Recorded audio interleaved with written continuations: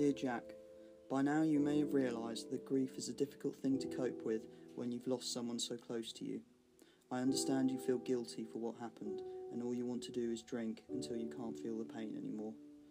Old friend, listen to me when I say alcohol brings nothing but trouble and will eventually lead you to a life of pain and suffering.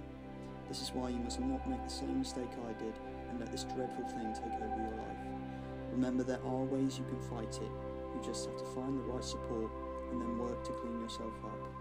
I know at times it will be difficult, but you mustn't forget that I will always be watching and guiding you the whole way.